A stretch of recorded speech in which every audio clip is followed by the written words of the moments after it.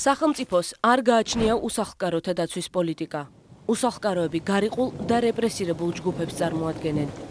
დღეს ქუჩაში მცხოვრებ მიუსაფარპირებს არ შეუძლიათ სოციალური შემწეობის მიღება.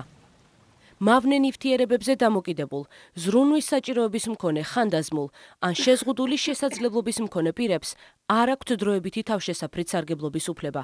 სახელმწიფო მათ მხოლოდ სამედიცინო თუ სარეაბილიტაციო ცენტრებით სარგებლობას თავაზობს. მიტოვებულ შენობებში მცხოვრები უსახლკაროები მუდმივად გამოსახლების შიშის ქვეშ არიან. სახელმწიფო კი დახმარების ნაცვლად ელექტროენერგიაზე, წყალზე, გაზზე წვდომას უზღუდავს და არაძლევს სოციალურ შემწეობას. ქირის უზრუნველყოფის და დროებითი თავშესაფრით სარგებლობის ვადის ამოწურის შემდეგ კი ქუჩაში ან ძალადობრივ გარემოში დაბრუნება ემუქრებათ.